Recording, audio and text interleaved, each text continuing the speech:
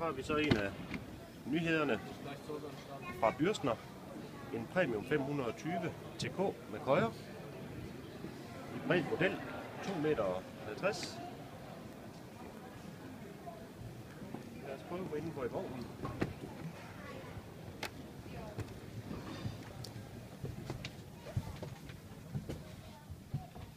Dejlig stor dobbeltseng. Ny træsort.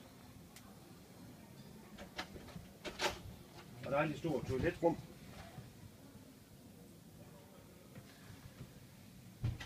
En af nyhederne i den her vogn er også, at nyt køleskab, 145 liter, i højden. Dejlig rundsædegruppe med tv-holder her. Ny belysning over bordet.